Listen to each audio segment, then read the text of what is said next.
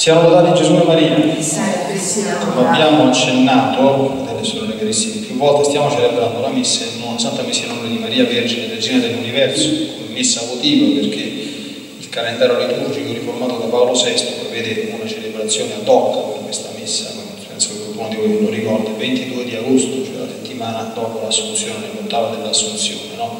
Questo è il quinto mistero del Rosario che completa il quarto, quindi l'Assunzione e la legalità.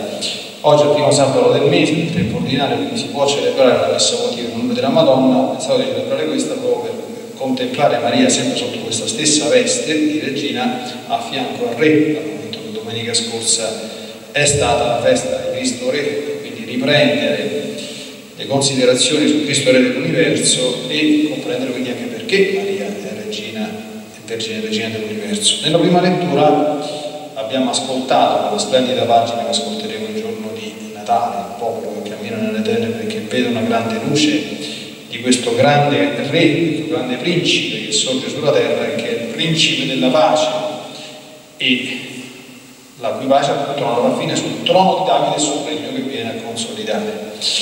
Ora noi dobbiamo sempre tenere presente una cosa, che Gesù non è re per natura, non vi scandalizzate o non saltate sulla, sulla sedia, Gesù è re per natura in quanto figlio di Dio, quindi questo, cioè che, che in quanto Dio abbia la regalità sull'universo intero che ha creato, questo, non, c'era bisogno che si facesse uomo.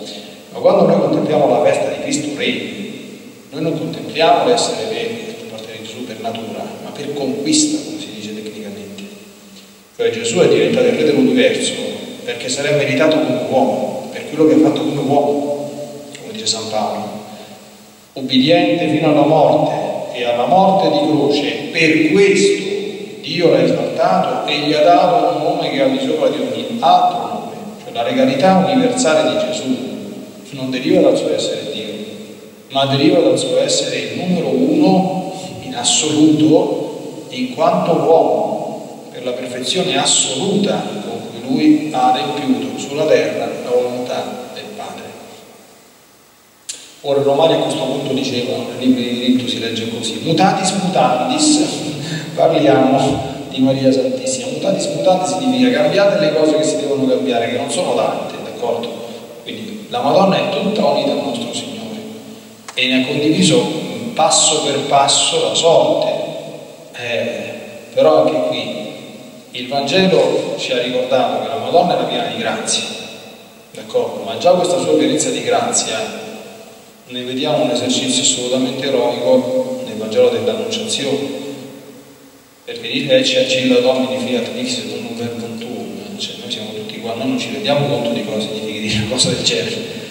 Non è semplicemente dire che bello divento la madre di Dio, eh, ma che bello divento e che bello, che missione diventare la madre dei dolori, capite? Perché sì, la concezione di Gesù è stata una cosa meravigliosa, il parto di Gesù è stata una cosa meravigliosa, i misteri diciamo biologici ma questo terminava sul Calvario, d'accordo? E lei lo sapeva molto bene, e dire di sì non era dire di sì semplicemente a una grandissima gioia, ma era dire di sì al più grande dei dolori.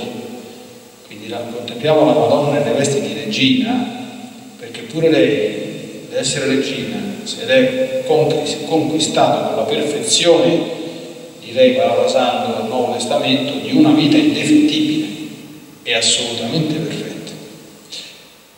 Terzo mutatis mutandis significa che noi renderemo con Cristo tanto quanto ce lo siamo meritato.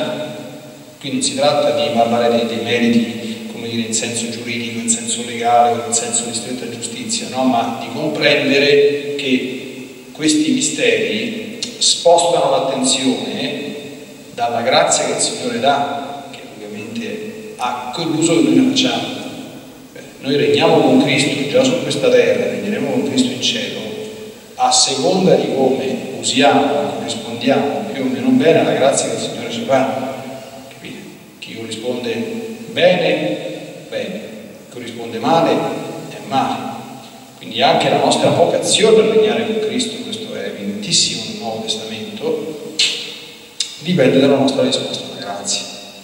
Così come anticipiamo quello che diremo nella meditazione, il regno della divina volontà si capisce benissimo dagli scritti, è qualcosa che si, come dire, in un certo senso conquista gradualmente con la nostra quotidiana fedeltà alle cose che il Signore mano a mano ci fa capire e ci invita a fare. Perché se non si corrisponde alla grazia, non si è fedele, siamo tranquilli che dentro non ci si entra, non ci sono automatismi, né ci sono, io dico sempre che Dio non c'ha, Dio non conosce i figli dell'oca bianca, non li conosce, non ci stanno, siamo tutti uguali al suo aspetto, capite? Perché dice, ma come, quello ci ha avuto tante grazie, a chi molto fu dato, molto sarà chiesto, molte grazie significano molte croci, meno grazie significano meno croci. Guardate che Dio su questo qui non si fa fare scuola da nessuno, capite? Quindi non esistono quelli dell'oca bianca, esistono tutti quanti e siamo tutti quanti uguali e tutti chiamati a corrispondere perfettamente alle grazie che Dio ci ha dato, poche o molte che siano, grandi o piccole che siano. E da questo dipende la nostra vita terrena e la qualità della nostra vita terrena e la nostra sorte eterna. Siamo lodati Gesù e Maria.